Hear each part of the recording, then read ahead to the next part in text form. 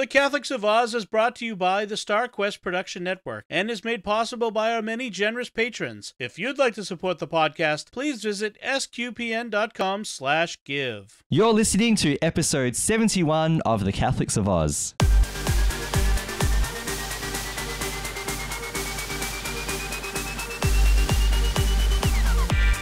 The Catholics of Oz is a show where we discuss faith, culture, and what's been happening from an Aussie perspective. Whether it's sinners or science, apostolates and apps, providence or productivity, you can hear it right now on The Catholics of Oz. Hello, I'm Lindsay Sant. Welcome to episode 71 of The Catholics of Oz, our first one for 2022. A little bit delayed, and we'll talk about why in a moment. But before I do, joining me today is uh, Lino Sabol. He's the only person joining me today. There's only cricket, only cricket's coming from where Caroline is because she's not here oh, yet. Poor thing. Oh, yeah, Poor we'll talk about why. But Lino, how you going? I'm doing well, Lindsay. Happy New Year, everyone. Yes, 2022. Goodness me, I- I'm going to say this every year, but 2021, where did that go? It was so fast. Woo. I don't know. We're kind of locked up for most of it, so I'm not I sure. think it was again. Oh, Yeah. Melbourne. Oh, Melbourne. Yeah, I, I, do we? Can we say that? I don't know that we've done time now after having you know two I- years of on and off lockdowns. You know, some pretty big ones. I think so, man. I think so. I think I think if we go locked down again, I'm sorry to say we might have some riots going on in Melbourne. Not again, sorry, but you know what I mean. I think there, it will be everyone will be up in arms, going, Yeah. "Why we're in lockdown?" And I think it's more the or the for the, the economy as well and jobs Mm. and everything. And it's Yeah. hard. It's been hard, and um, I've been seeing it on the news about supplies as well. And um, it was something. I was going to do shopping online, and uh, you look at supplies. Oh my goodness, there's nothing much left on there. Yeah, supply It's- supply chain's been an issue. I think that's Exactly. um, happening in a lot of places around the world, just with the um the Omicron wave as it is. Yeah, Um, yeah, Yeah, it's uh it's made you know uh, obviously a lot of people ill as we try to open up now. exactly, Um, exactly. Yeah. Uh, and so where we are in Australia at the moment now, for anyone who's not in Australia, uh, lockdowns are are- basically have been told that lockdowns are not part of the plan anymore. So the Mm, the mm. um the drive is to open up. Um, I, I hope they're doing the right thing. Yeah, you know, you know what yeah, I mean? that's true. I- that's true. I, I can't say I have an opinion on. I- I don't want to be locked down again. I definitely don't want to be because it's, um, you know, Mm, mm. obviously there are other costs associated with locking down. You know, there's the benefit is that the virus doesn't spread, and uh, Mm, you know, less mm. people end up in hospital because of it and things like that. But the um the the flip side of that is all the other things. You know, there's mental health, um, missing out on opportunities, not being able to do things. You know, you Yeah. know, there's um you know obviously not being free to do other things that we normally do in life. Um, you know, routines, Exactly. habits, hobbies, all that kind of stuff. So Exactly. you know, and talking to people that you love on Skype all the time. Or yeah, yeah. Well, that's Yeah. true. That's Yeah. true. You, you won't be able Yeah. to um visit your family and friends. you Yeah. know, and you, you try to keep, keep on contact with them. Yeah. And um, also, I think um, I think at the moment for us in Victoria here in Melbourne in Australia, Mm. um, I think we're doing sort of a personal lockdown. Yeah, we don't that- want to go it has too, been reported. much. yeah, yeah. that some people have just been staying at home because uh, Omicron. Yeah. So we had a we uh, we had a summer of Omicron here in Victoria, and New South Oh, Wales is very similar. Um, and some other states around Australia to a lesser degree that have had a spike in cases too. But Mm, um, mm. yeah, we yeah we were seeing very very high numbers of cases and very high spread of Omicron. And how do you know that it's going getting Mm. everywhere? Is when my family gets it. Oh, no. because if my family, so yeah, so my family, uh, we had uh, Omicron. The, we had a visit from Omicron uh, during January. So about uh, just before mid January, Mm, we all mm, uh, we all contracted COVID as well. And I've been saying to a few a few close friends that uh, if it made it to us, that means it's everywhere because we've been pretty careful. You know, Yeah, like we, we haven't locked ourselves in, but um, Mm, but at the mm. same time, you know, we've been only visiting outdoor venues. We've we've really limited some of the things that we do. exactly. um, Mm, Yeah, mm. but uh, yeah, we had a we had a you know it wasn't a massive party. We only know, had, yeah, was it? was it about fifteen people ish 15 roughly at my place? Yeah, um, you know, Exactly, just just to celebrate that I've gone around the sun forty years, yeah. and, and that Damien has gone around the sun thirteen years. He's entered his you know teenage you know teenage years yeah, now. yes, yeah, yes. um, yeah, and we got unlucky, but yeah, Okay. that's it's the possible source because from that from that day, quite a few people ended up with COVID. so we had an Omicron party, not a birthday party. oh, Lindsay. Oh, Yeah. ouch. Yeah, yeah. yeah, How are you feeling? How are you and your family feeling now, Liz? Yeah, everyone's good. Uh, Mm. thankfully, um, uh, the things that we were worried about um, didn't eventuate. So Mm, uh, we were mm, really worried mm. about Alexander uh, because you know, yeah. because he's had issues in the past where um, due to developing asthma that he has uh, when he's when he's had colds in the past yeah i've talked Mm. about the hospital trips and everything in you know in previous episodes you know it wasn't last Mm. year but the year before um, and he does sometimes when he gets a cold it flares up his asthma he gets quite sick Oh yes. um, Yeah. and we have learnt to manage it you know, over the years so it's been less severe you know thanks to you know help from from doctors and you know Hmm. um, developing asthma plans and having puffers and preventers and all kinds of exactly. you know, wonderful medical marvels that we have to yeah, help him. yeah. So we're, we're able to mitigate, you know, the the illness that he has now. Mm, Uh, we were we weren't sure because COVID is an unknown. It's not a cold. It's COVID is a you know it's a Yeah, whole other yeah. you know disease there. exactly. Uh, but Mm. thankfully, Alexander he just for one or two days he felt a bit warmer than usual. Um, but his attitude didn't change. You know, when he's sick, if his attitude changes, you know it's not good. exactly. Yeah, when he's up, you know, if he's yeah. mopey and crying and wants hugs all the time, or if he sleeps unusually during the day, that then you know he's not well. Mm, But mm, none mm. of that eventuated, thankfully. Um, Yep. Uh, so he Yep. just played and it was just being his normal self. Mm, Um, mm, mm. Damien, thirteen year old, he had one day where he felt a bit nauseous and wasn't eating properly, Okay. uh, and okay. felt a bit felt a bit warm, feverish, and then he was fine after that. And Isabel and I were miserable. We were. Oh, yeah, that's it was like right. it was like the worst kind of flu that you could have. Ooh, uh, yeah, definitely. Uh, I think, uh, uh, and you know, hopefully, possibly because we're vaccinated, uh, well, double vaxxed at the moment anyway. We're we're moving, we'll hopefully get our, our booster soon. Yeah, uh, yeah. But um, I think there were three days where we were really unwell. Um, Yep. So so the way it worked is uh, the on the um, uh, so on the Tuesday of the week that we were that we were sick, Mm, mm, uh, I'd been out in our pergola um, doing some work because I'm Mm. I've been digging out all this soil that's between the between the pathway and the pergola and the fence. There's about you Mm. know like sixty centimeters of you know between the fence. Excuse me. Um, so I've been digging out some soil so I could you know lay out some you know some really tough weed mats and then you know put some stones in there, make it look nice. You know, so cool, cool. um, yeah. so I'd started that. And uh, I'd worked pretty hard, and it was a warm day, so it was you know Oh, Aussie yeah, summer. was, so mate, now I was undercover, thankfully, but it was still hot. You know, there was still yeah, heat and it was very humid. yeah, Than So, heat that we usually heat we have. Yeah. yeah. So I was digging all day and moving, you know, moving lots of soil and, you know, Mm. all that kind of stuff, you know, listening to some audiobooks, which was good, past the time. But I'd been out for pretty much the whole day doing that. So by the end of the day, I was wrecked. I was really Mm. of course it would be. tired, yeah, you know, sore arms, the whole lot, you know, sore body and Mm, mm. everything. Mm. And the next day, I woke up with, you know, with a rotten headache. I was not feeling good. Yeah, yeah. and so, yeah. so Isabel said, "Yeah, I got the, uh, I got the, um, the lecture. Like, see, I told you, if you push yourself too hard, you're gonna get sick." And that's what. Ha- so she was giving me that, you know, like, you know, yeah, things like that. I said, "I'm so sorry, dear. I thought I was pacing myself." She's like, "No, you did it. You did it." Um, and I, yeah, I was pretty much miserable all day.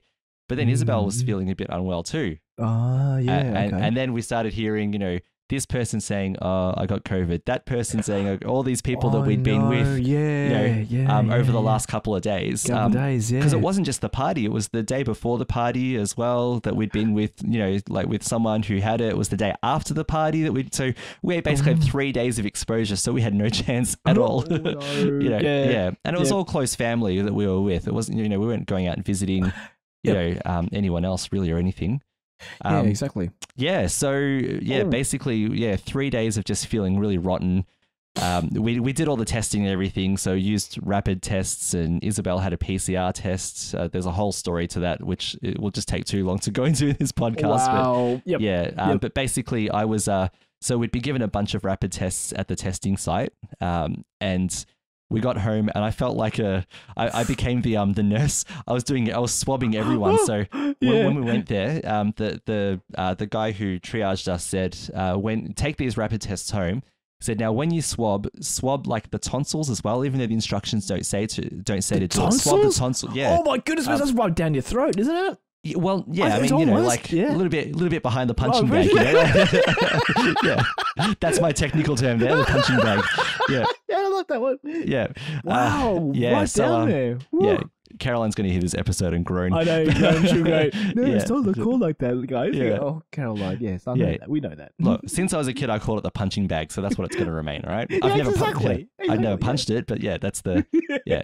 So uh, yeah, so I was, I- you know, I did the kids, I did Isabel, I did myself. I was Mm, mm. swabbing everyone, but Mm. every, you know, for three tests, it was just two big, bright, dark lines. You know, bright, dark, yeah, two dark lines. Yeah. it was- Wow. yeah, confirmed it. yeah, It's like, yeah, this is why we're feeling terrible. Wow. Yeah. Exactly. Exactly. So I, yeah, I think the symptoms were pretty bad for three days. Uh, It was just like a Mm. really intense flu.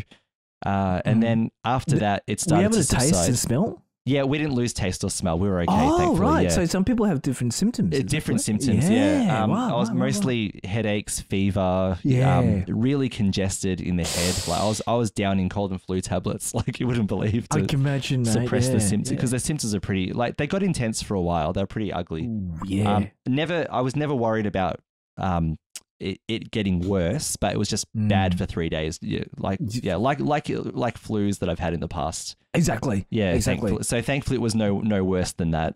Yeah, exactly. Um, yeah. yeah, so uh, yeah, after those three days, the symptoms started to subside, uh, and then basically it was just having no energy. So that was the worst part. Was the energy levels took you know another week to come back.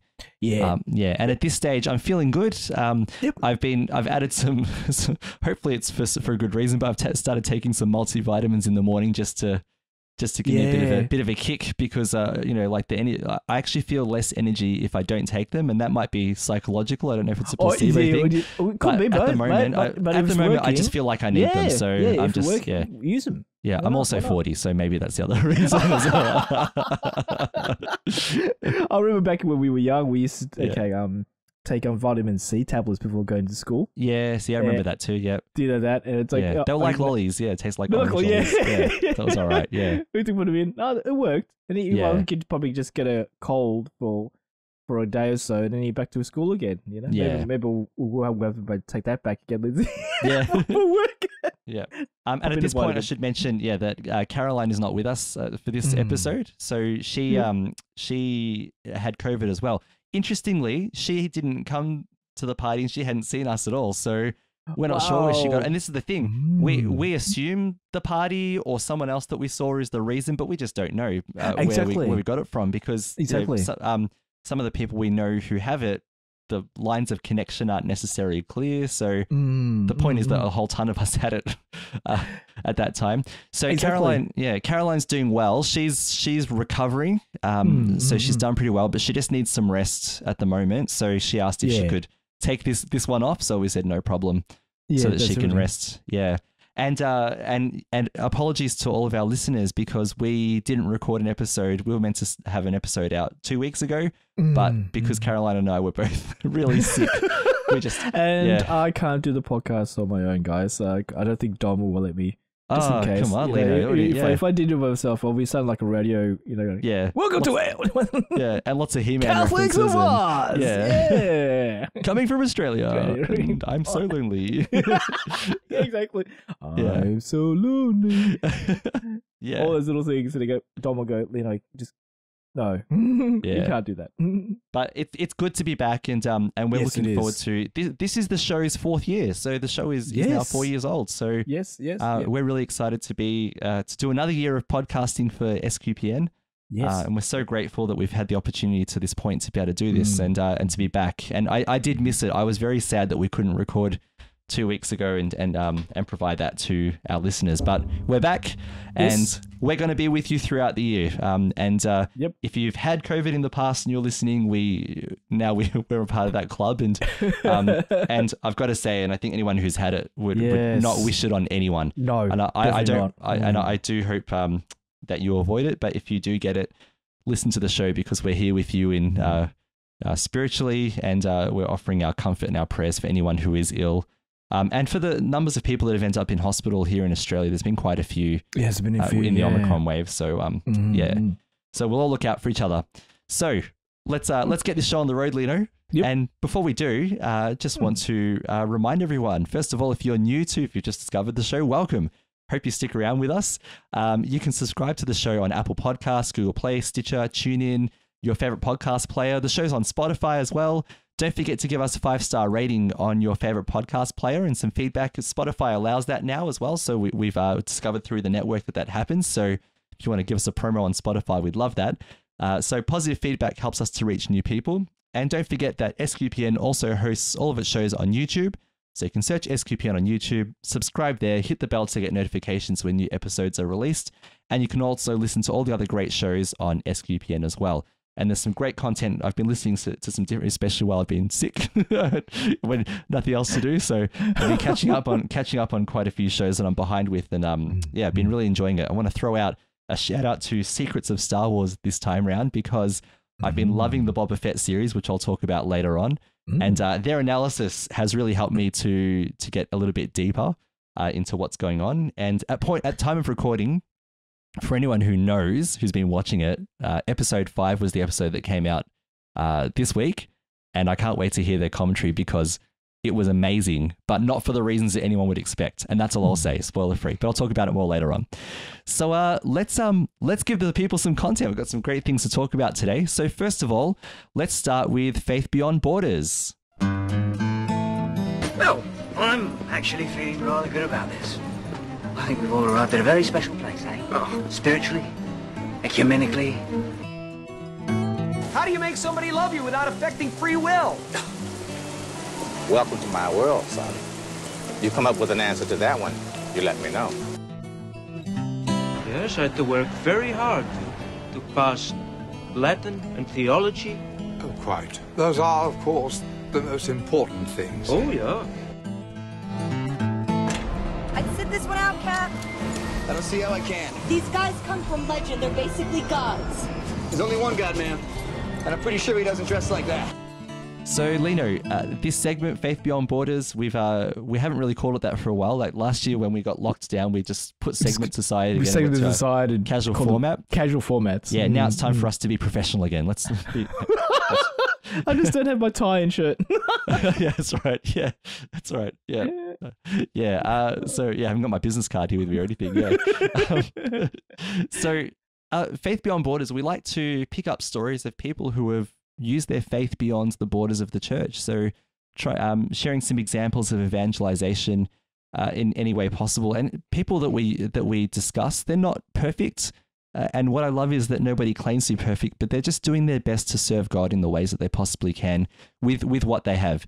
So the context of this is that uh, on Australia Day, Australia, uh, the 26th of uh, of January, I was going to say the 26th of Australia, the 26th of January, uh, um, the they announced the Australian of the Year, and then Mm, also there are mm. different categories of Australian of the Year as well. exactly.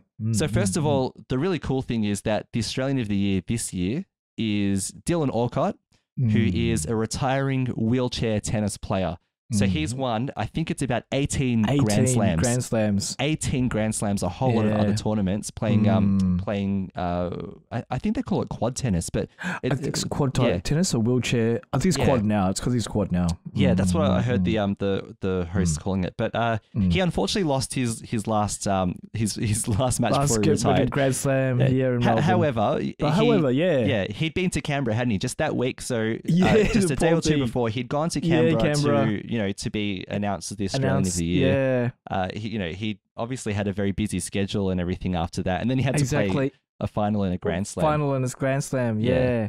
Yeah, but it was a good match. He, uh, Yes, his opponent also just a beautiful person. Um, you know, Yeah. uh, just the way that they both spoke um, uh, after the, the last match. It was a, it was an, it was a, a beautiful thing to be able to watch his you know his last ever um, you know tennis match. Mm, Uh, and the things that he said um, were all amazing. He was just full of gratitude. He, I don't think, uh, I, I think he didn't want to lose, but I don't think that he cares that he lost Yeah, because exactly. you know he was capping Mm. off a great career. Yeah, Uh, yeah. yeah, and just the praise that he had for his opponent and everything. Um, yeah, it was wonderful. So, I mean, Exactly. that, that's really good. So we're going to have a great year of because what happens then is for a year the uh, the Australian of the Year will advocate for their cause. So Exactly. uh, we had um, uh, the one of them was a teacher a couple of years ago. Uh, was it? Oh, I'm see. I'm mixing his name up now Oh, okay. because so because uh, I it's not James Wu because James Wu is like a director or an actor or something. But it's yeah, James Wu is yeah, but- he's an action. but, yeah, but yeah. it was oh, so I'm going to say Mr. Wu because a teacher. I forgot his first name because it's been a Okay, few, it's okay. been a few years now. Um, It was pre-lockdown, but you know he was a maths teacher who was really passionate, Australian of the Year. So he spent a year promoting teaching and maths, and uh, you know, and he became he uh, he was noticed because he recorded uh, he was recording his lessons and sharing them out, for, and it wasn't Yeah. just his his students who were watching them, but it was students around Australia and around the world. So oh, awesome. yeah, and you know he was promoting education, very passionate, also a very Christian man as well, which is really cool. Mhm. Um, Mm. last year was Grace Tame, and she uh, was an advocate for uh, for women, especially women who were survivors of sexual assault. And so she was bringing violence. uh, not domestic violence. This was uh, this Oh, had right. more to Okay. do with um, you know with abuse. Um, so she Oh, right. so so okay, her story okay. was that she had been abused by a teacher. Unfortunately, you know, that's a that's a heartbreaking thing for me Mm. being in the profession, but she'd been taken advantage of. Um, and she was so she, she spent a year um, challenging the silence around um, around uh, you know uh, all kinds of abuse of women. So. Uh, Mm, really, okay, obviously, a really important message to share. Yep. Uh, yep. And this year, it's going to be Dylan Alcott's going to be advocating for um, for people with disabilities as well, which is great. yeah, so, yeah. um, so that's uh, you know, someone said, oh, maybe we should make him prime minister, and someone else noted we actually don't have you know ramps and disability access to Parliament House. You know, like Oh so wow! There you go, like to you know to the um to the chambers, you know to um you know uh, where all the all the action happens. But then again, who'd want access to question time anyway? To be honest, Oh. I, What do you want to I think. you know? Oh, so I'm surprised because they were the ones. Um, the parliament and the government were trying to advocate and make the laneways and uh, walkways all um disability um access accessible, areas. yeah. And, there, And there's a lot of work that's been there. done. Yeah, haven't got one a lot of work has Oh been done, but he me. he'll highlight where there's more. You know, he's already said, uh, how about Mm. free rapid antigen tests for people with disabilities? Why hasn't that happened? He's already jumped on that Oh yeah, as a, as a wow. cause. So he's already using his voice. Um, and the thing is, he's a very positive person. He's got a very positive voice. A Yes. very yes, that kind of yes. friendly Yeah. personality that you you know you want to listen to him and hear what he has to say. So he'll, he'll be a, Definitely, he'll be a powerful advocate for um for for uh, disability, and I, I think that's great. Exactly, you will. Yeah. Another story I want to tell though, Lino, Mm. is uh, is that um, so like I said, there are other categories of Australian of the Year. So it's not just one person. There's one main person, and there are the other people who are noticed for their efforts as Mm. well. Yep. So Dr. Daniel Nour uh, is um, a Coptic uh, Coptic Christian Catholic. I hope I said that correctly. Uh, but he uh, was announced as the New South Wales Young Australian of the Year. And uh, they call the headline from the Catholic Weekly is "Want Faith? Go to the Homeless," says Doctor of the Streets. So let's talk about his story very quickly. So uh, it says here that to find faith, look to the homeless. That's what Daniel Nour, the 26 year old doctor and New South Wales Young Australian of the Year, has uh, found since he launched Streetside Medics.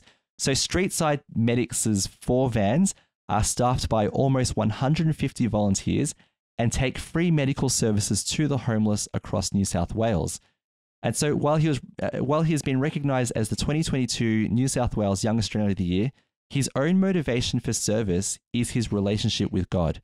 My views are very much based around my faith, I'd say.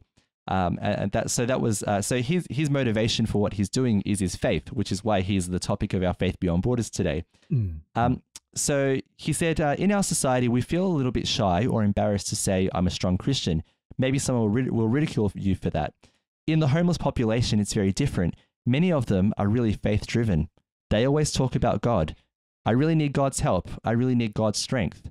Or they'll say, I've stopped drinking thanks to God. It's all Him.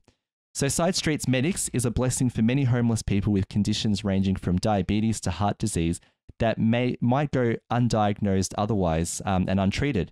So, some of his patients come seeking treatment for chronic ill, uh, chronic conditions of the soul as well as the body. Uh, and he said, "I've seen a few people who have come in with a lot of guilt, or they've lost hope." Uh, so, um, basically, what he's done is he's used his gift of medicine. So, obviously, he's a full time you know doctor as well Doctor. but he Mm, started this volunteer Mm. program to to go to the streets and help people who are experiencing homelessness with um with their medical conditions uh, and also Wow. helping Mm. them to find conditions that may have gone undiagnosed if they hadn't sought help. Yeah. so, yeah. um, But it's not just that. he's also uh, be- because of because it's a relational thing. There's striking up conversations, and they're talking about their lives, and they're finding a bit of a bit of spiritual healing through their that relationship as well. Mm. And we've we've talked about it before, and how important is it that if you if we want to provide spiritual healing, we need to listen to people, and Mm. and he's out there doing that. He's listening. We don't necessarily have the answers when people say, "I've done this, I've done that," but you know, being there to listen is such an important part of that um, that process. Pope Francis has been on about this. Pope Francis is not the first one to say it, but he's re-emphasized out the need for us to listen. Uh, but Mm, but mm. such an important thing. Um, you know, look at uh, look at you know, confession as a model. What happens? We talk, and the priest listens. Yeah, Uh, and and really, Mm. you know, you know how Mm. sometimes a priest will provide some spiritual guidance. They Mm, don't even have mm. to do that in in in confession. They simply their job is to Just- listen and provide. listen. Yeah, Yeah. and, and to give God's you know absolution. You know, uh. Jesus acts through the through the priest. Um, uh, but it's great, you know. Obviously, I like it when the priest says, you know, try doing this, try doing that. You know, you know, um, you know, or, or, you know, uh, and sometimes I'll offer encouragement. They say, don't give Yeah. up. You, you know, um, don't Exactly. be, don't beat yourself up so much. Things like that. They, you know, Mm. um, I remember I copped a humbling from a priest in Rome once. I- Rome? yeah, Oh my I- gosh, I was- in 2016 we went on holidays and we are at the Vatican, and it was during the Year of Mercy, and I thought, oh well, you know what? Let's. Uh, they're, they're offering confession, might as well go. And so, you know, I went, you know, went in um, and, and did confession, and the priest he didn't tell me off, but he's like, you need to rethink the way you're talking about this because you're too hard on yourself, and that was Ah, yeah. Okay. so you know things like that. You know, they offer things like that. Mm, Um, mm. Yeah, so uh, that's a, a model, I think, of what he, he's not offering confessions, but what he's doing is he's uh, he's offering a service Service. uh, without an agenda, just simply Yeah, just to to Mm. put his faith into action. Mm, mm. And one of the great, um, you know, um, flow-on effects of that is that people are not just receiving healing for their medical conditions or support for their medical conditions, but they're receiving spiritual help Spiritual as well, help which is as well. which is Mm. beautiful. Um, he said one of his patients, a lady in her 50s, who had been rough sleeping for seven years after losing her family's savings through gambling, came to the, Yeah. the clinic in Mm. Manly. He said she Mm. felt so guilty that she left her family. She was just heartbroken.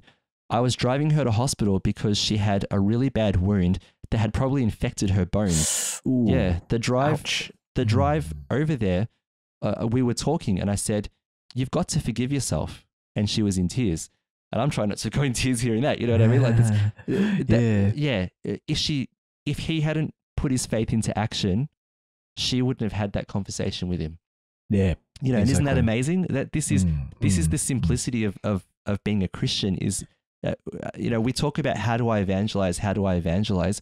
You don't need to start a massive program. You don't need to start. You know, Mm. you don't need to have a you know whatever you know like spend millions of dollars or whatever. You simply just need to go out and, and talk to And people. Talk to people. Yeah. Exactly. Yeah. Mm, mm. a- and not talk over people, but but listen like he's done. And he just had, you know, she's obviously told her story, and he's provided her this one sentence, which, Yep. which she needed to hear. Yeah, You know, this is God acting through through our, our good works.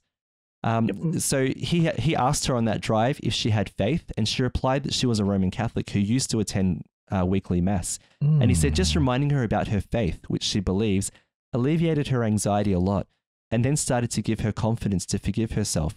We had that Mm, mm. conversation four, five, six times and read the Bible together a few times as well. Mm.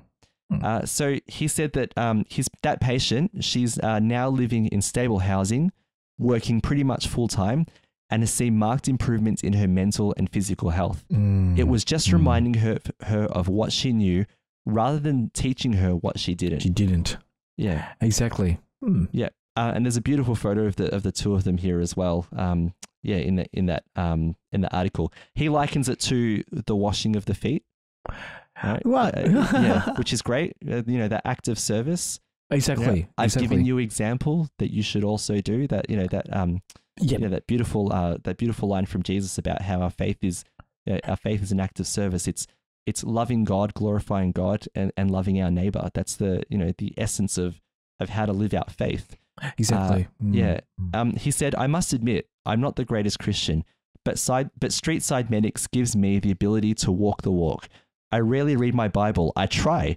I rarely pray and was never and never big on fasting. I go to church, but I'm often distracted. So I'm not a good Christian, but I've always grown up in the church. My parents serve the community. My mum is quite religious. It al- that happens to a lot of us. um, it always struck me uh, the story of Jesus washing the feet of his disciples. If God washes the feet of his disciples, the least we can do is take care of our homeless. Mm. And there's more to read, and I'll, I'll um, put that in the show notes for our um, for, for you as our listeners to uh, to read as well. But Lino, what did you think of uh, of Daniel Nour's story yourself? Yeah, that's that's that's a great um vocation here. Is that what was that right? I'm saying vocation he has. It, it is. A, it- I mean, our our- vocation is what we feel called to by God. Mm, Um, Yeah, and yeah, it can be a priestly vocation, you know, like a um, an ordained vocation, or it can Mm. simply be where we feel our lives. It could be a married vocation. It could Yeah, be. exactly. It could be Yep. simply um, what we what we feel and sense through prayer and discernment. God Discernment, God is mm. placing for us as the mission of our lives, exactly, uh, the- exactly. or the missions of our lives. What what mission is God Mm. putting for uh, before us? Because that Yeah. mission is being sent, isn't it? It's it, that's Yeah, exactly. the whole idea. Is what is yeah. what what is God sending me out to do at this particular time in my life? So yeah, absolutely, I'd, I'd call it a vocation for sure. Yeah, it's and also um I think uh, it sort of reminds me when we were doing it back in our youth group days. We we went to, to do this soup van stints, and Yeah. we did. Well, I think we did a couple of times. We did the um the soup kitchens. I actually went to the actual kitchen. Yes, yep, and we served the homeless there, and um, it's a real eye opener, Hmm. and it really shows you um the different. Not, I I wouldn't say the different sides of society, but you Yeah. know, for us, it's like we we got jobs, we got a house, blah blah blah, but these people don't, Yeah. and for us to come and help and and just to be there, and also like you said, um, to listen to them Yeah, and listen to the, what they have to say, what to listen to. It, it's it's amazing, Mm. you know, and yeah, it's great what he's doing, and yeah. it, I just it, through, his faith, that's great. Oh Yeah. that's, I'm amazed. I'm amazed.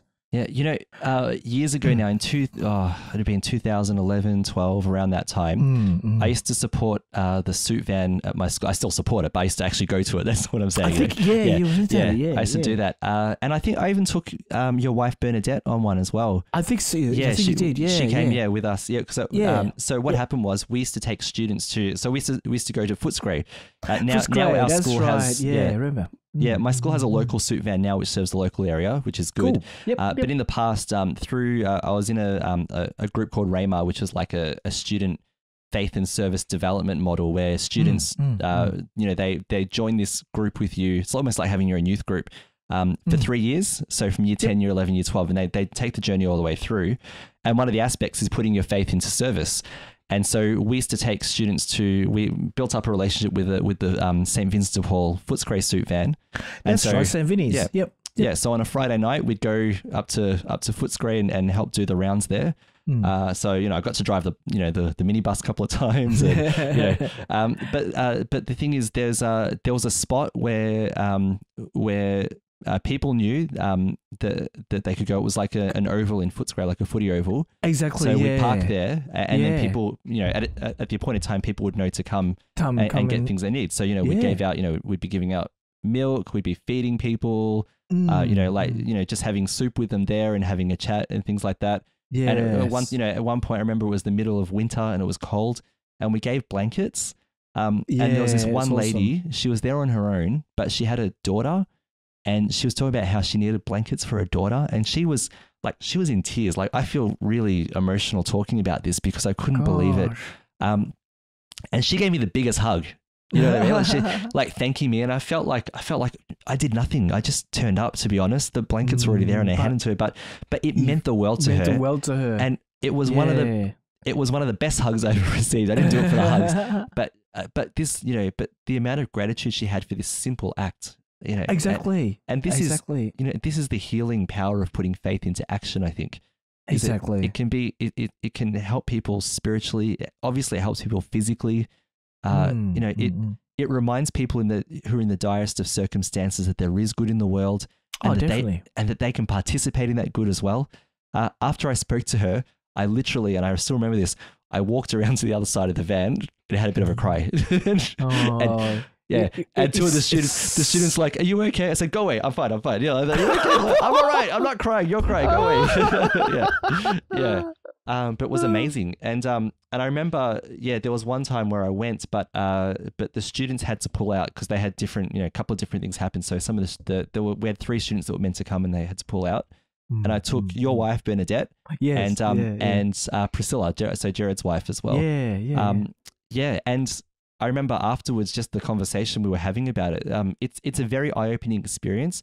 Um, and we're going to talk about New New Year's resolutions in a minute, but uh, yeah, it- yeah. uh, I would say to anyone if you get an opportunity to volunteer anywhere that serves the poor, uh, Mm. have a go, and and not just to give people things, but to get into conversations with people who experience Mm. homelessness exactly, uh, and to listen. Uh, Yeah. because, because your your simple act, you're giving up three or four hours uh, here and there, can be such a healing moment for you know for people who who need it, who who need physical help and who need spiritual help. And you don't have to Bible bash anyone. It's like I said, that spiritual no, help no, is just listening. Uh, Yeah, exactly. It's just listening, like you said. Yeah. Yeah, they just want to talk to you. They just want to talk. They just want someone to listen to them. Yeah, Uh, it. they just want they just want to know that um that they can form a, a relationship with you, even if it's just for that Mm. night. Uh, and Mm. it, it's such a healing um uh, activity, and it's just it's just something that that is that shows our faith at its best. Exactly. is when we're is it because I love God, I'm going to love my neighbor Exactly. because Mm, mm. because God is so good, because God loves me so much, I just want that love to be visible, to radiate from me into other people as well. And if I can be God's instrument in doing that, then count, then sign me up, count me in. And that's that's that's what I think is so beautiful about it. And and this is something also, by the way, uh, not just for people who experience homelessness. Do this in your home. You Do it with your Mm. do it with your wife or your husband or your kids. You know, do it with your you know do it with your other family members. Do it with your friends. You can radiate God's love just by you know just by by doing. You know, just by Exactly. yeah. Yep. I Wow. could rant on about this forever. yeah. No, that's Um, good. That's good. Yeah, yeah. yeah. The, uh, the homeless, we keep, we say, is that they want they want to say something and they want people to listen to them.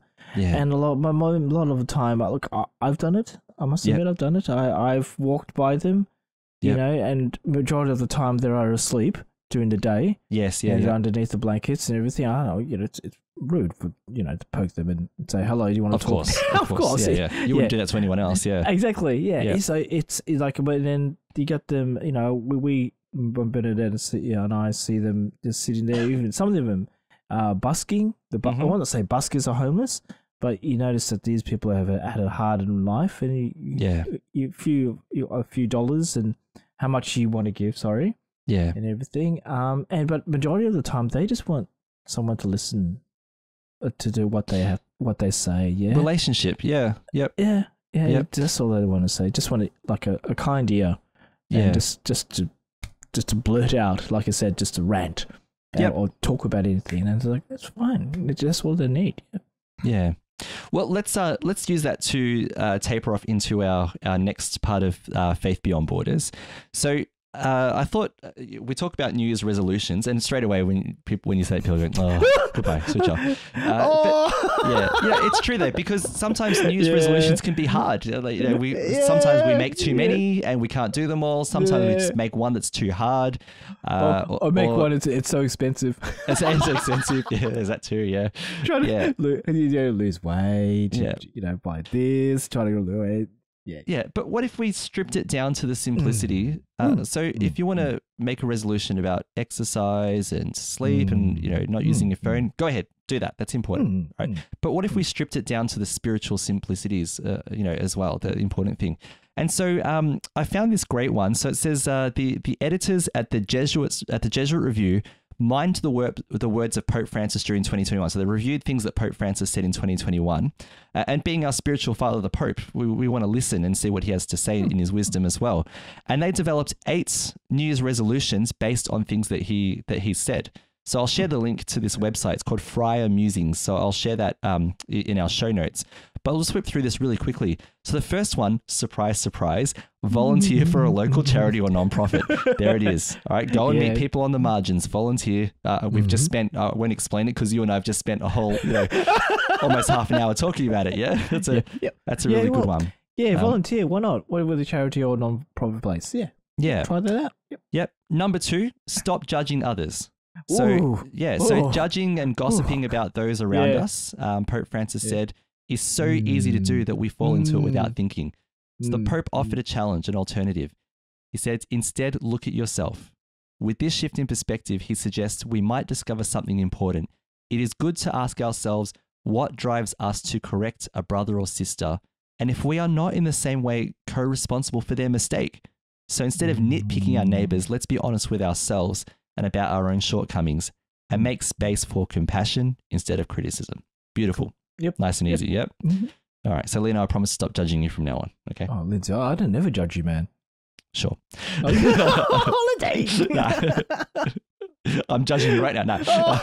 yeah, but so but so true. It's it's very easy to criticize. uh, You know, so I mean, we can critique, which is important. You know, th- this isn't That's working correct. because blah blah blah blah. Let's make it better. That's fine. Yeah, exactly. Yeah, but yeah. criticism for its own sake, what does it solve? It it doesn't solve anything. Nothing much. A- And no, you no. only need to you know go online and look at the negativity to see that that criticism is not working. It's- yeah. yeah, it's horrible out there. And With- and sorry, to be yeah. honest, to be honest, everyone who's listening, you could be such a prophet just by being more positive online than negative. Think about that too. Exactly. Yeah. Exactly. Can be. Yep. Take scripture to heart. So important, isn't it, to have a biblical faith Yep, um, as, yep, as much yep. as we possibly can.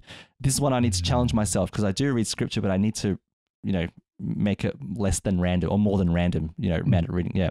So, um, so in uh, an audience on January 27th, uh, he said, uh, it um, take the right approach to scripture. Be careful though that you don't annoy people. And he said, it irritates me a little when I hear Christians who recite verses from the Bible like parrots. Um, so of course, yeah, the Pope he wasn't he wasn't discouraging reading the Bible, but quite the No. opposite. Uh, what he Yeah, was yeah. expressing was a frustration with the approach to Scripture that focused simply on just rote memorizing. So basically, just memorizing, um, Just one, you know, or phrases, yeah, of phrases, and then throwing yeah. them at people Mm, rather than sort of focusing on that personal encounter. That mm. so th- there are ways we can approach talking to people. We can, you know, someone could say, "I've got this problem," and you could say, "Well, Jesus says this, this, and this," and uh, is that the Yeah, most it- helpful thing? you know, yeah, un- exactly. unless a person Yeah. says, "What does Jesus say?" You know, that Exactly. might be not be. But the thing is, what if everything that Jesus said informed the way that you spoke to someone Spoke to instead? someone. So Daniel Exactly. Nour, all right, washing people's feet. You know that you know he he's taken the washing of the feet and applied it with his hands Hands. you know, like, and, and with his words. Uh, so, so there are ways into a conversation, but rather than just Bible bashing people, as we call it, uh, Mm, which doesn't necessarily help, it actually drives people away as well. A little bit, yeah, it does. Yeah. Yeah. So it says here, his words remind us that sacred scripture is alive, that it speaks to us on an individual basis. God speaks to us through scripture. We've got to remember this as well. It's not a book of words. Mhm. Um, you know, these words were are divinely inspired so that the people who wrote them wrote about their understanding of God in their context, Exactly. in the place that they were, to an audience of people who needed to hear the message of God in it because of what they were going through. Uh, Exactly. And Mm. and so this is God speaking to us today. And when we discern scripture, we think, what was God? What was uh, what were the authors saying that the people that they wrote to needed to hear about God and from God in that time? And what does it say to us now? Mm, And mm, and mm. how does scripture disturb us now so that we can change? Because I, I, I think that scripture, we shouldn't look at it as a book of nice things. I think of it more as a book of things that should challenge us and shake us and make us uncomfortable. Mm, You know, you know again, that scripture in- in a sense should be like a mirror where you look into Mm. it and you think, am I living up to what God has asked me to live up to? Mm. And the answer is usually no. Mm. But you know what I mean? But, like, but, but what can I do? What little things can I do this year to try, you know, to, to change rather than doing the same thing over and over again and failing? Yeah, yeah. what can I do yeah. just to be that little bit more successful and grow in my relationship with God through Scripture? Um, and- Exactly. yeah, and serve Cool. His people. Uh, yeah. So, um, as Pope Francis says here, the Word of God, infused with the Holy Spirit, when it is received with an open heart, does not leave things as they were before. Never. Beautiful. Mm. All right, there you go. Um, that those are words of wisdom to to throw in there. Yep. All right, Lino, take one concrete step to become more environmentally conscious. Conscious Wow. and start now. Yeah. Okay. Mm. All right. Well, Well, but buy a hybrid car? yeah, it's okay. We talked about not having the expensive ones. Yeah, I mean that might do a little bit. Uh, yeah, and the thing is, so sometimes um, people hear environment as well. They're going, "Oh, he's going on about the environment again." But, but why? Why should we be environmentally conscious? This is the It's thing, diff- and and I think it's important to remember two things. First of all, yeah, uh, the Earth is God's creation, exactly, and exactly. And theologically, and you can throw you can uh, you can look this up in the um in the catechism as well. I forgot the reference. Don't ask me. I'm bad with numbers, but we are co-creators with God. So Mhm. God continues the act of creation through us. Creation didn't stop with with what you read in Genesis. Creation Exactly. continues, and we are now acting in God's creation, God's earth. To, to continue, we're stewards of God's earth. Stewardship again Mhm. is, is our Mhm. role. The Exactly. Catechism talks about our stewardship of the earth Yep. to, yep. to keep it and till it. Yep. A- And, why would we do that? Uh, In one sense, the earth is a sign of God's love for us. So we want to look after it and make sure Exactly. that you know that it, it, it remains beautiful.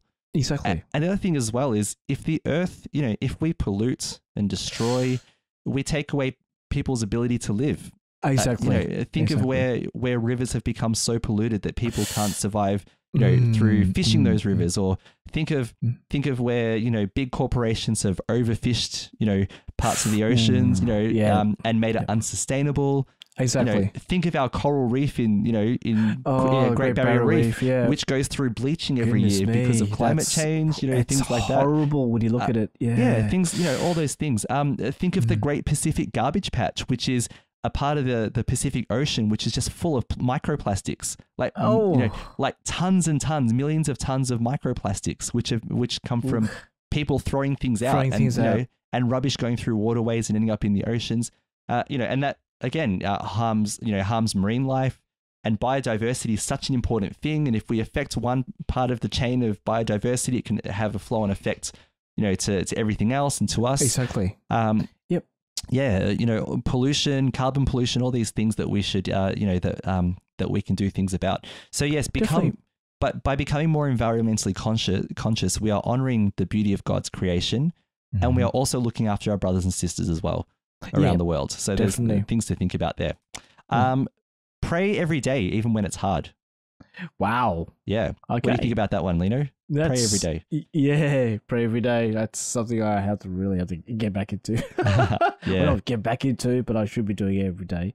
You Yeah. know, um, get not a habit, but getting that time and effort. No, oh, this is Yeah. trying to get that time and to, to pray. Yeah. You know, and it would pre- definitely with your family and friends. And yeah, I think we definitely need to do it at while this whatever this COVID thing, you know, everything's happening. Just Yeah. just to bring that faith back in again. Yeah. Just need to find some prayer. It, it doesn't have to be. I know people do the rosary. That is absolutely fine. Mhm. You know, and if it's if it just needs to just to say a prayer from your heart and soul to each other, why not? Yeah. Yeah. Yeah. Lovely. He says Yeah. praying is uh, not something is not something easy, and that's why we flee Mm, from it. Pope Francis says. Yeah. Every yeah, time we want mm. to pray, we are immediately reminded of many other activities, which at the moment seem more important and more urgent. yeah. And he says, "This happens to me too." Um, yeah. yes, does, it does. uh, but he said, uh, "True progress in uh, spiritual life does not come from, uh, you know, having multiple ecstasies, you know, but being Mm. able to persevere in difficult times. Walk, walk, walk on. And if you are tired, stop a bit and then start walking again. If you are feeling Mm. discouraged about your uh, progress in prayer, know that Pope Francis is struggling right there with you and don't give up. Uh, Mm. prayer is our communication with God. It's our it's our primary relationship with God. exactly. And, and the other the, Mm. the importance of prayer is that prayer inspires action. We talked about putting our faith into action. Prayer helps us discern the actions that God wants us to you know to do in, in the world as well. Exactly. Exactly. Yep. Uh, number six, let go of a grudge or two. Woo. There you go. Yep. Oh. I don't, I don't think I have any. I, I'm one of those people I- that hasn't really had grudges any, against I- anyone. No, not a grudge. Yeah. Look, I, I think I wouldn't say uh, connecting with grudge with forgiveness and yeah, yeah, and you know you we get the good old um what was it saying you know forgive and forget you know definitely forgive and then Mm. forget that's the harder part. Oh, forgetting is the hard forget- part for sure. Yeah. Yeah, forgetting, but Yeah. then well, I think once you got the forgiveness uh, um um sorted out and then forgetting Yeah. sorted out, and I think we oh, could, be, could be a, a topic we could talk about, Liz. But about forgiving and forgetting, Yeah. you know, I think we've talked about it before. But um, We have yeah. talked about forgiveness in different Yeah, contexts. Yeah. contexts, yeah. Actually, this time last year we did a big episode on forgiveness. So Exactly. I think it Look was, January? January's episode last year. January's- yeah, there last year. Yeah. yeah, yeah, Yeah. yeah. Um, Yeah. yeah. So he's basically advising that we don't end the day angry. Uh, well, definitely not. No. Yeah, if you've uh, found yourself sniping at your spouse or being short with your close Mm. friends, um, he said, listen to me well. Never finish the day without making peace. Mm, We fought. mm. My God, I said bad words. I said awful things. But now to finish the day, I must make peace. And it says here, you know why? Because the Cold War, the Cold War the next day is very dangerous. Well, okay. Yeah. Wow. So Wow, the wow, idea wow. of, you know, waking up and just being bitter with each other because you had a, a bad, you know, an argument or whatever. It Um, is hard. It, yeah, yeah. with your partner, different with your partner. You know, I've heard uh, Yeah. a phrase: "Never go to no, never go to bed angry." Yeah, I'm sure St. Paul said something about never finishing the day, never letting the sun go down, um, you know, being angry with someone. Um, Exactly. Mm, So mhm. whether it's a caress on your husband or wife's cheek, as the Pope Mhm. suggested, or a conciliatory text to a friend, do Mm, not let the uh, today's grudges fester till the morning. So exactly good one. Yeah. I love this one. Get off Twitter. Oh, Get off I'm Twitter. Lucky, That's I'm lucky I don't have it. I'm That's sorry. Liz. No, that's good. No, good. Yeah, I good. never. Um, never was a cheek. so after the pandemic moved much of our lives online, YouTube masses, Zoom happy hours, untold hours of COVID doom scrolling on Twitter, you might be ready for a social media cleanse in 2022. Pope Francis has repeatedly urged people to get off their smartphones and to start communicating in person. This year, in a message to journalists, he warned of the tyranny of always being online. Listening always goes hand in hand with seeing, with being present. Certain nuances, sensations, and well rounded descriptions can only be conveyed to readers, listeners, spectators if the journalist has listened and seen for him or herself.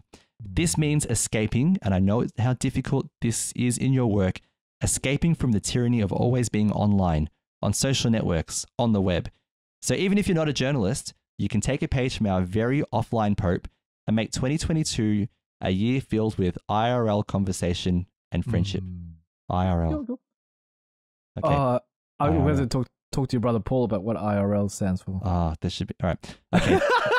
Dom, I know you're listening. I know you're going to edit this, and you're Yes. you're the you're the secrets of technology secrets of host. I'm throwing it over to you, and next next time we'll tell everyone what it is. All right. So, uh, oh, you know, what? I feel ignorant that I don't know what that is. I, yeah. I, oh, I have, Yeah. I've never gone into that sort of side of All it. right. Okay. But that's all right because no one's going to judge us. So, Yeah, that's Um, true. That's true. uh, and number eight, Well, call your loved ones regularly and truly listen to them. When was the last Mm. time we visited or telephoned an elderly person in order to show our closeness and to Mhm. benefit from what they have to tell us? Mhm. That was his question in his homily for the World Day for Grandparents and Elderly last year on July 26th. Few groups have been more profoundly affected by the pandemic than our elders. Now that vaccines and boosters have made it possible to safely visit them, what if you took this year to listen or to even record their stories and wisdom? Uh, so he said, Let us not lose the memory preserved by the elderly, for we are children of that history, and without roots we will wither. They protected us as we grew, and now it's up to us to protect their lives, to alleviate their difficulties, to attend to their needs, and to assure that they are helped in daily life and not feel alone. Mm. Beautiful. Yep. Yep. Yeah. Yep. Yep. Yep. Yep. Yeah. So there we have it. Eight New Year's resolutions. They're simple, they're spiritual. Mhm. They are love God and love your neighbor and put your faith in, you know, they are Daniel Nour, what we just, you know, young Exactly. Australian of the year in New South Wales. Mm, Definitely. Definitely. Yeah. Any thoughts before we move on? Oh, so just just recapping on the um the Twitter thing because okay, I was on Facebook, uh, looking at Facebook, and um I saw like a caption with um uh, different generations, and there's one gen- generation, just probably us, Lins, back in the eighties and nineties. They're just playing in the swimming pool, not a swimming pool, near a river, Yeah. getting dirty, getting you know having fun. In the other caption, all these kids just looking at their phones. And it says thank Yeah. God I was born in in, in this Yeah. generation. Yes, whichever yeah. generation the person was Nice one. you know, probably in the Yeah. 1890s. And it's Yeah. true. Look, Mm. I, I've done it. You know, Yeah. I've done. I, I'm, you know, I. It's. Look, I'm not saying, you know, seekers of technology will, will sort of agree that technology has improved. Yeah, it yeah. has let us do things that we haven't been doing for yeah, yeah. But I think what Pope Francis is trying to say is just put it down. Yeah. Have some time for yourself. And like like we'll, we'll talk about being listening, you know, have a Mm. chat with someone and listen to them. Yeah, You know, they just they just want to have a chat and be be with you. So yeah, maybe it's just a time to put it down for a little bit. If it's and being being being immobile, you can have these notifications, of thousands of them, Yeah. and everything coming across. You just maybe just need to um ignore them. If it's your mum or dad or your family member, uh yeah, just have a look. Yeah, Yeah, have a Don't look at just- those, yeah. They're don't, okay, don't yeah. think, don't think oh, I'll ignore that. Wait a minute. Whoa, Yeah. whoa, what was happening? Okay, just it's, sometimes you just need to put it down and, and chill out. Absolutely. And um, with the call your loved ones, Mhm. yeah, that has been so um important during this pandemic. Yeah. Um, it's good just to keep in touch, you know, with our mums and dads and grandparents and our aunties and uncles, everyone, everyone. Yeah. If there's someone elderly you know, it's great to just have a, you know, one-on-one Reach out. uh, reach Yeah. out. Oh, Reach yeah, out. I got, got right. that song in my head now. Um, yeah. yeah. reach out and touch somebody. Um, yeah, was it? Sorry, Liz. Uh, so yeah, it's just yeah. I think during the pandemic, pandemic, it was very important for us to have that con- contact because a lot of people are either lonely, Mm. um, don't have a lot of family here in in, in different countries. So especially, you know, it, well, sorry, especially, but in Australia or wherever wherever you live, they just want that contact. yes. Yeah. and it- absolutely. yeah, it definitely, definitely, definitely do that, guys. And remember what Pope Francis said about the wisdom we can gain from listening to our elders as well. Exactly, definitely wisdom. E- Yeah. Even though we uh, we say that back, in my days, we could do that. look, look, it's it's understandable. You know, Yes. I wouldn't be surprised. Yeah. We'll be doing it, Liz. You know, yeah. we'll be oh, doing for it. sure. well, you yeah. know, I'm already doing it with my with my sons. Yeah. All right. So we With didn't have kids. phones when I was young. You know, yeah, did, back yeah. in our days, so we were Yeah. able to climb a tree without Yeah. falling off. Well, the Mm, internet which- was steam powered when. I was young. You know? Exactly, yeah, exactly, yeah. It was just like one cable thing. Well, we Yeah. use one cable, but you know what I mean. It's not so fast. It took But, took um, five yeah. years for Google to load when, when I was young. Exactly, exactly. All But right. yeah, uh, they just want to, yeah, they just, they just want to, yeah, and someone to listen to, yeah. Yeah. And for those who are listening, what are your New Year's resolutions? Spiritual, not spiritual? Let us know because uh, I need a couple more as well. So give, give me some advice. All right. Well, let's move on. And uh, we're now going to talk about some science. Ah, What a fine day for science. You have any hobbies? I collect spores, molds, and fungus. Can you reverse the polarity? I'll do my best. Science, science, science, science, science. Science, science, science, science, science. Yeah, I like science. All right, Lino. Here we Oh, go. wow. I- Okay. I'm always, I'm always worried Oh, when it comes to I know, talking about science without Caroline. Time, I know. Uh, Caroline, you know, encourages us. And she says, "That's great Yeah. things," but I know, I know, in her mind, she'll go, "Boys, what have you done to the science section? what have we done to it? What, yeah. what have you done?" Yes. I know So, we love uh, you, Caroline, and you love us. I, oh no, we Yeah. love you. I know. So Yeah. yeah. I'm going to stick with something that we're comfortable with, and that's space news. And Cool. uh, Yep. Yes, do this. And Yep, some actually an event that I was really really excited about um, that happens uh, well started on uh, on Christmas night here in Australia. So it was uh, Mm, it was mm, late, mm, just before midnight here in Australia, um, Christmas night, and uh, and I. I thought was great, and it was the launch of the James Webb Space Telescope. And But, but, hold on, hold on. I, I must admit, it does look like a very big um honeycomb. It does, yeah. Like the mirror, yeah, is a massive mirror. It's mirror. so cool. Yeah, It looks- six. yeah. Uh, is it six point five meters mirror? The Woo. mirror is, which Wow. is six times. Uh, that was my first talking point there. six times the size of the mirror of the Hubble Space Telescope. Wow. So it, this this thing is a is a beast. Um, It is, the man. the solar sail um, or the solar um, covering there uh, is the size of a tennis court. This is the sun shield. Um, Goodness yeah, me. which keeps all the equipment really cool.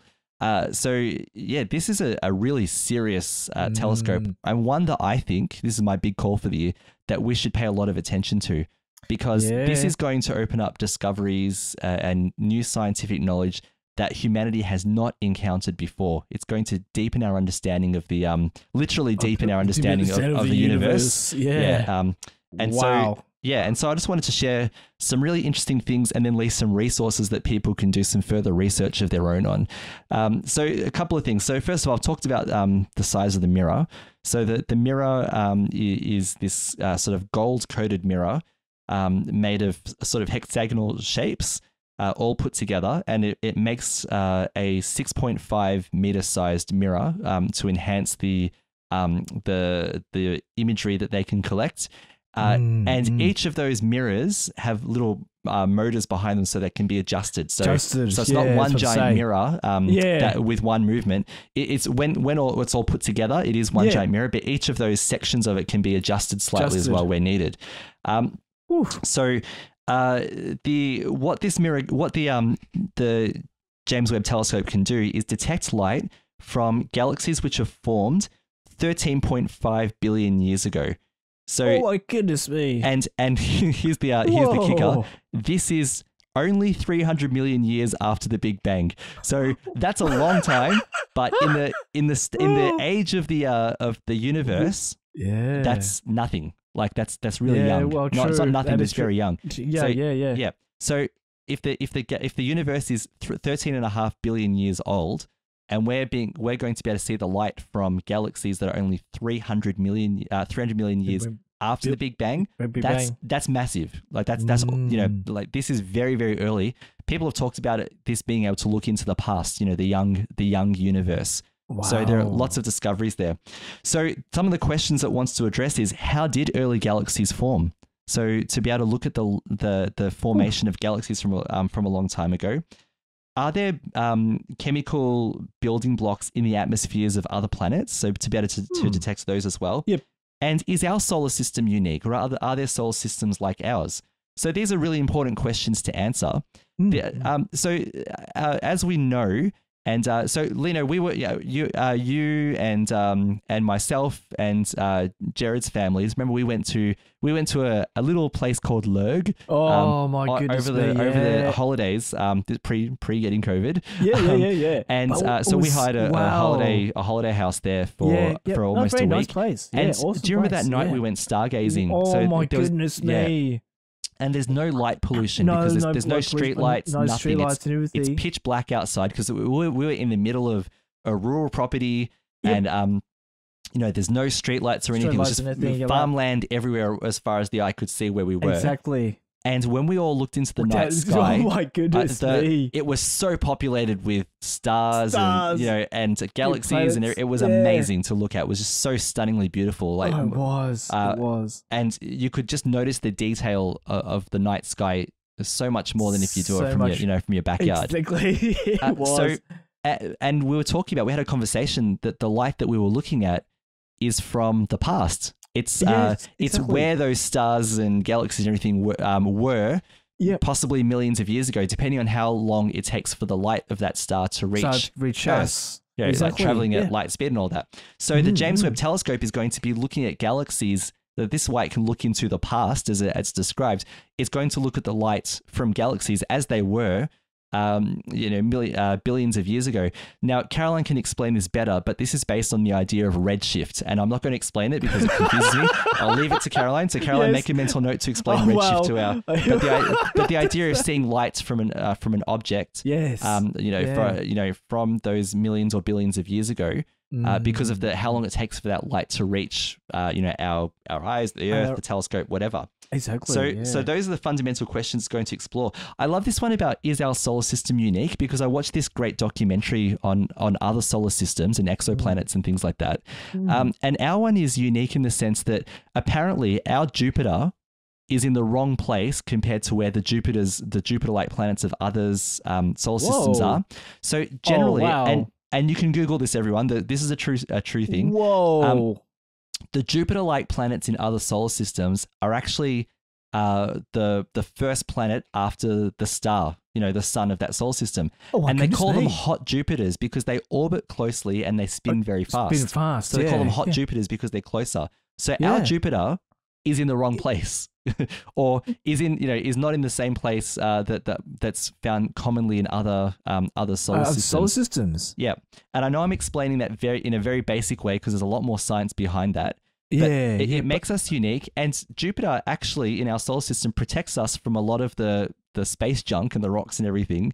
Uh, you know, that that could Wow. potentially collide with Earth. Clouds with Yeah, Earth. it's I like a bit of- say. Yeah, someone described it as like a, a vacuum cleaner for our, our solar system in, in one sense. Yeah, So um, wow. yeah, so uh, that's a really important question. So are there are there solar systems that are similar to ours somewhere somewhere out there in the in our galaxy and beyond our galaxy as well? Um, now, the James Webb Telescope was too big to fit into the standard fairing of any rocket. So it, it, it, because it's the size of a tennis court when it's completely unfolded, yeah. it- there's no way you could store it in a Store in a rocket. Um, you know, the fairing of those two covers at the top of a rocket where you put your payload and then open and deploy and whatever else. Exactly. So w- it's not going to yeah. fit uh, anywhere. So they basically designed it to fold up like an origami, you know, inspired by origami. Yeah. So the- Yeah, now so I've got to say, cool. Um, thousands of engineers from the United States, Canada, and Europe worked on this and on the different components and everything. Mm, mm. And the unfolding, uh, um, and opening up after it was launched was a was a engineering marvel because lots of little bits and pieces had to move around, and you know, and lots of components had to open and unfold and, and assemble. And as each each time this happened, it would take hours. Yeah, you know? definitely. Now, like if Yeah. you're here on Earth, you could use your hands just fold something open, and done, right? But because it's, Yeah. it's hurtling away from from the Earth, and we're not going to be able to send anyone to repair it if something goes wrong. They had to go through this pro- process of getting it ready so meticulously. And in fact, the James Webb Telescope, the design started in 1996. Whoa, uh, what's that? So uh, t- was it 25, 2022 25 years? Wow. Is that right? Someone else can maths me on that. That's why we need Jared. yeah, uh, yeah, yeah, he's the maths guy in this group. Yeah, um, yeah, but uh, yeah, 20, about 25 that? years. Yeah, to 25 go from years. design to build Design to, to yeah build. to testing and, and launch. Yeah. Uh, so Oh, um, wow. so it was designed to fold up um, Yeah. and fit into the fairing of the European Space Agency's Ariane 5 rocket, which is Mm, like a mm. heavy duty lifting rocket. Ve- An amazing rocket to watch, watch Oh, its launch because cool. This thing Yeah. is massive, it's powerful, and it just shoots off the ground. It's like like it's got no time to be on the ground. It wants to get to space. It's, Cool. Yeah. Oh, wow. um, yeah, and so the launch um, apparently was so successful as well that Mm. uh, it was placed perfectly uh, um, into Earth's, you know, into Earth's orbit to leave the to leave the orbit and head out into um, further into our solar system. Mm, It was so perfectly placed that the engines weren't really needed for massive corrections. Oh, that, cool. Um, that the telescope will now go way beyond the ten years that 10 um, that- That, was expected at its Oh, lifespan. wow. Uh, so it will be able to stay in its in in its orbit, and I'll talk about the orbit later on. Um, uh, well beyond what was expected, so they'll be able to collect lots of science for a lot longer, which is awesome. Uh, a- And ten years, really, you know, when you think about it, is not a long time in research. Yeah, because you know, the, and the universe is so big. You know what? It, Mm. Oh, you can't. it's yeah. massive. It would take, yeah. Yeah. A lot more longer than that. Yep. So Oh, yeah, go on. Yep. I was about to say, Liz, that Yeah. can you imagine that you've been working 25 years on this Mm. project? Well, that is if you've been in that job for 25 years. Yeah. And I, I'll, I would be so teary. Yeah, I would too. I'd be celebrating like crazy. Yeah. Celebrating, seeing this thing fly up in the air, able to f- um, uh, find out um, a lot of information about the universe. Yeah. And it's able to, you, you can imagine that you, you've done all the drawings, all the technical Mm. things, and, and making sure this thing unfolds properly. Millions of hours of design and preparation. design, yeah, trying to building. make sure you're Yeah. building, and then you find out that you go up there and it's perfect. He doesn't have to. What do you call it? The rocket's uh, lens. He, Yes. didn't, he did, didn't have to adjust. No, where it was he have to go. perfectly placed Perfect where it needed to be. Yeah. and boom, and it's gone. Yeah. And it's like it's like saying goodbye. To, no, not goodbye, but saying good luck to a.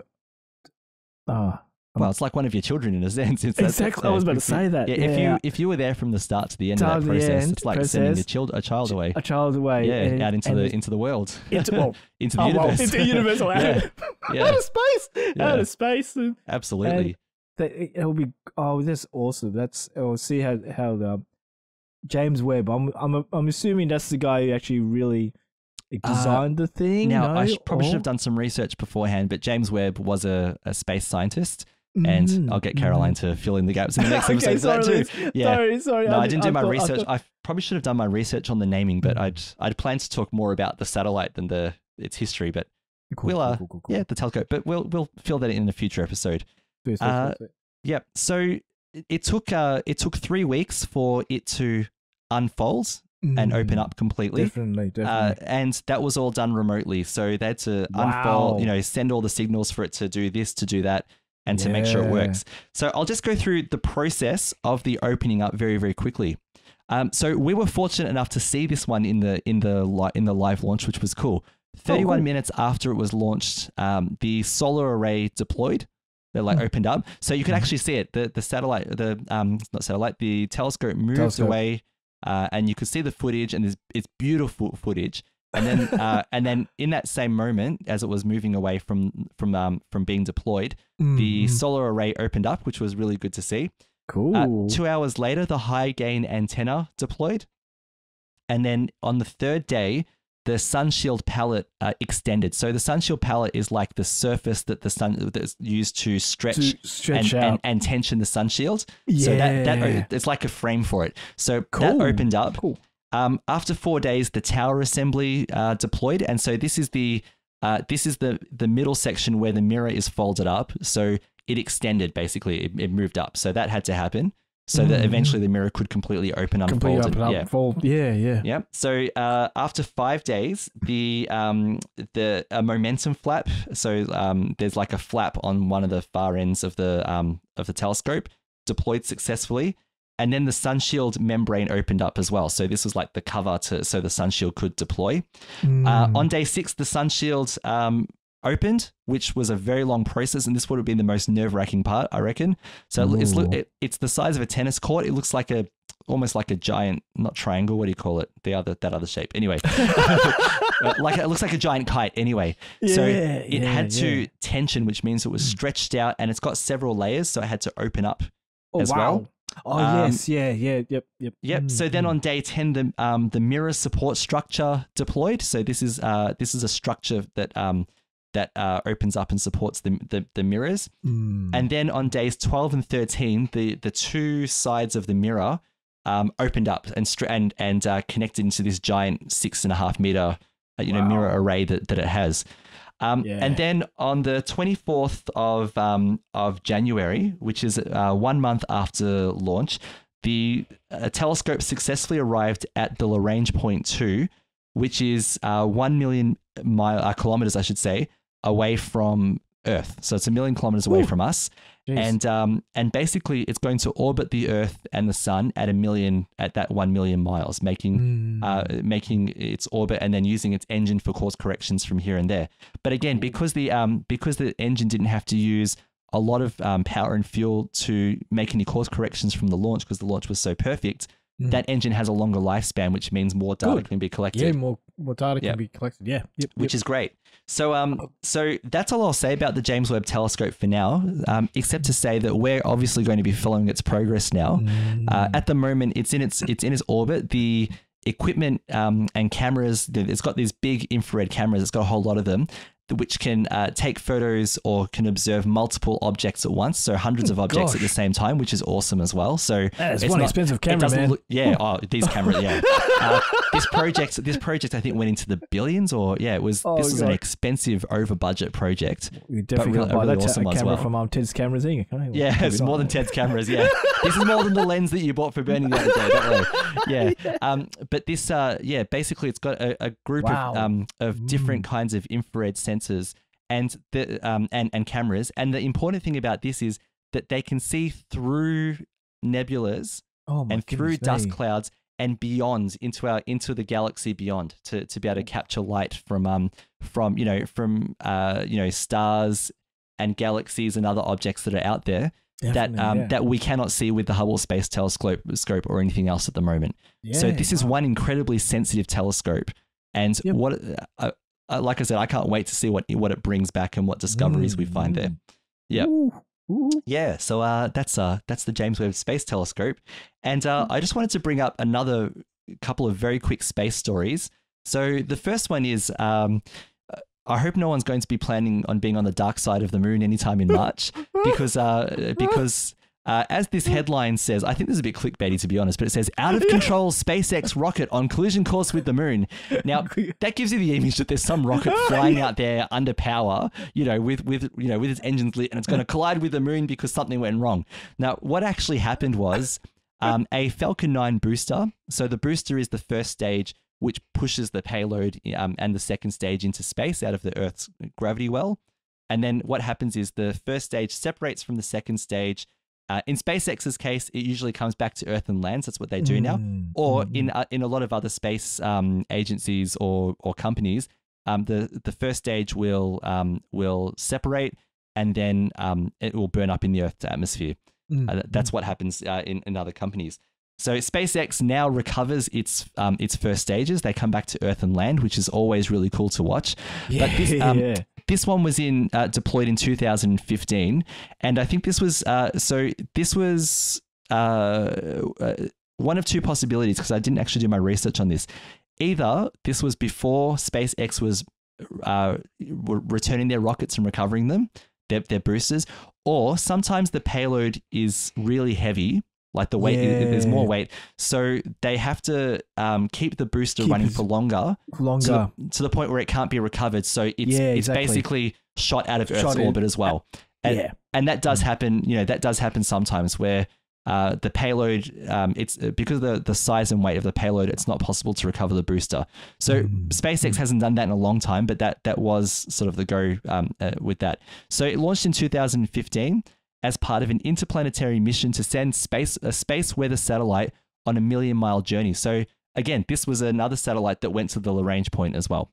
Cool. So obviously, it wasn't just a low Earth orbit situation. So the booster did have to do more work to get it out of the Earth's gravity. Um, so, but uh, after the time of completing the long burn of its engines and sending the NOAA's Deep Space Climate Observatory on its way, um, which uh, it, the rocket's second stage became derelict. So they discarded, it, just sent it out into the into the solar Mm. system. Mm, mm. Um, so I'll I'll cut the story short, and if people want to read the article, they can. Basically, because of gravity in the solar system and the way things work out, sometimes our space junk comes back. it happens. All right, it does happen. Um, we've had we've had old probes that have been gone for decades that you know that Oh my will, goodness you know, me, yeah. not come back to this close, no, but you know, no, come yeah, back. yeah. So, Yes, definitely, uh, definitely. So what's happening now is uh, that the observers have mapped out um, that this is it's on a it's a, it's been on a chaotic orbit, so it hasn't Ooh. been like in a stable orbit um, from wherever it was, and Mm, mm. there's about four tons of space junk from this from this first tons? stage. Yep. That's a lot of that's a yeah, lot of tons. and it's going to it's going to collide with the moon at a velocity of 2.58 kilometers per second, uh, sometime in early March. Some some are saying on the 4th of March, and uh, in this article from the Guardian, there's a link to the blog blog post which goes into some really deep science about why this person says March the 4th. Sadly, sadly, sadly, if you wanted to Mm. observe it, it looks like it's going to hit the dark side of the moon. Oh, yeah, we won't be able to so see it, we're- definitely. so we're just going to know it happens, but we're not going to see it. Maybe someone will catch it on its, on its way to the moon, but we actually see the collision. yeah. But I think it's going to be a bit of an anticlimax. I think it's just going to be like a yeah, thunk, yeah. and that's it. You know, It's Yeah. like- yeah. So, um, but but pretty, you know, like pretty interesting thing anyway. Um, and he said, and uh, the, one of the scientists, um, an observer, uh, he said uh, that the event will allow for observation of subsurface material ejected by the rocket strike. Um, and he's saying that he hopes it hits the moon. But he said, we already know what happens when junk hits the Earth. There's not much to learn from that. It's just- Okay, it's- more than anything, yeah. it's it's interesting. Yeah. okay. yeah.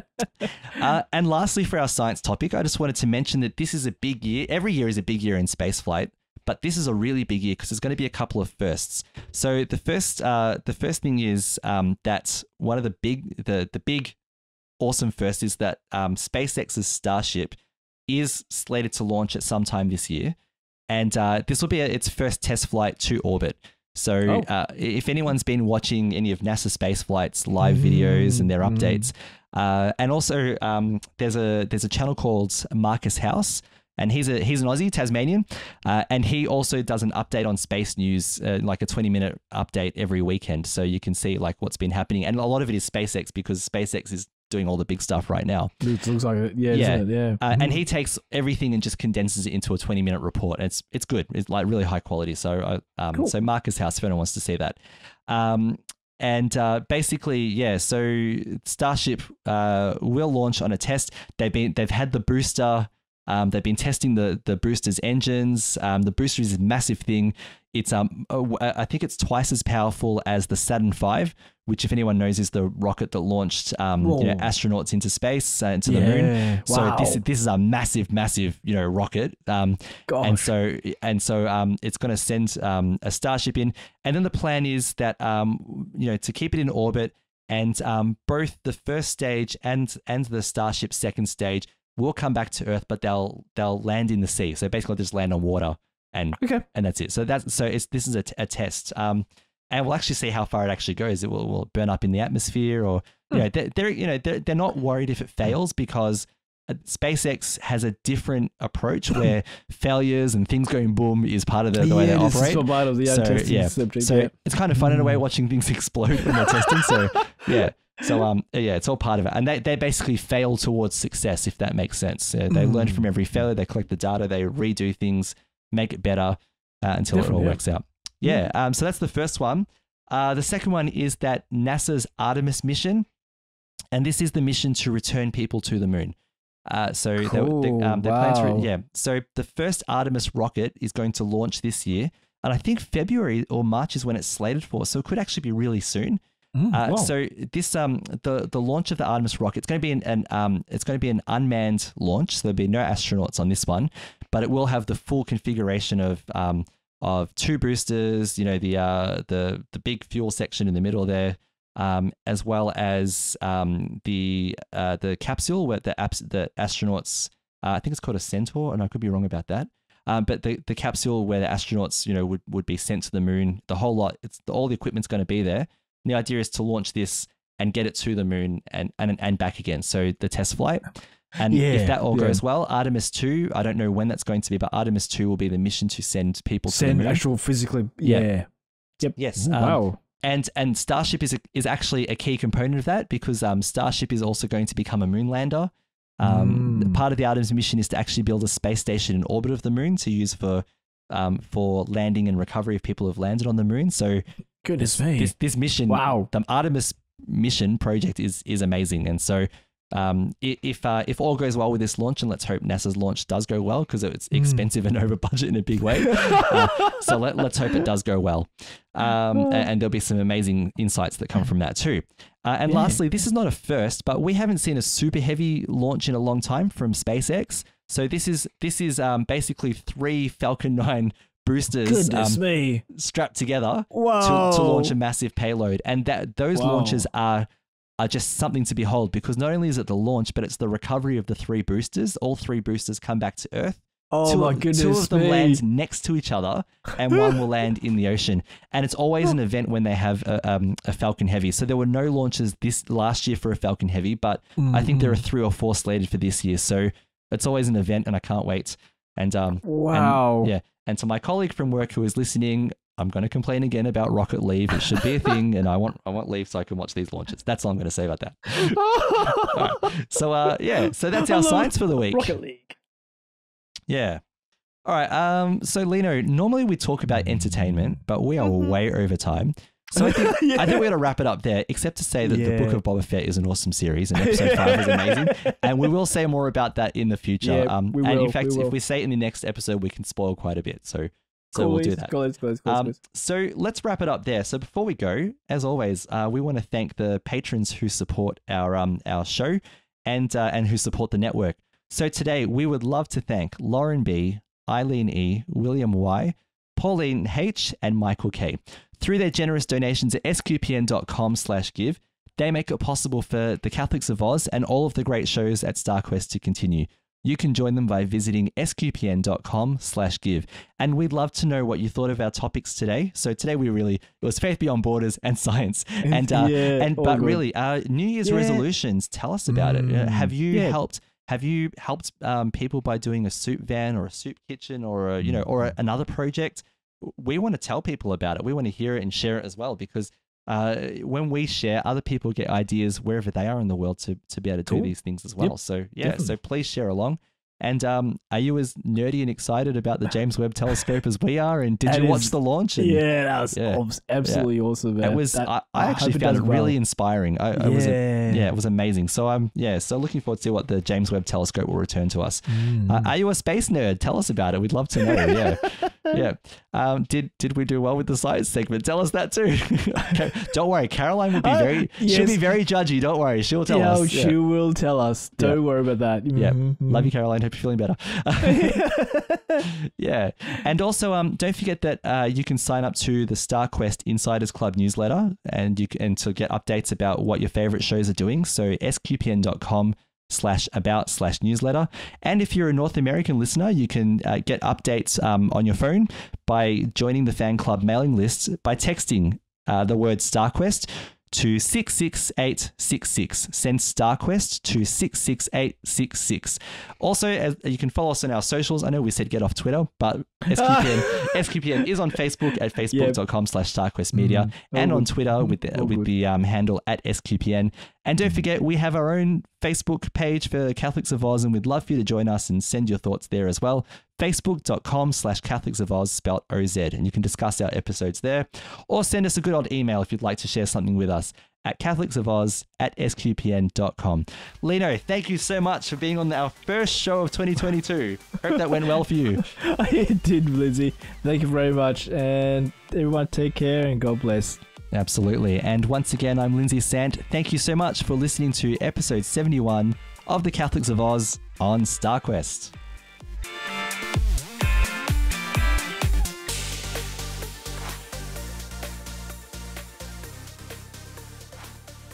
Have you got wavy lines? wavy lines. They call Yeah. them megahertz by the.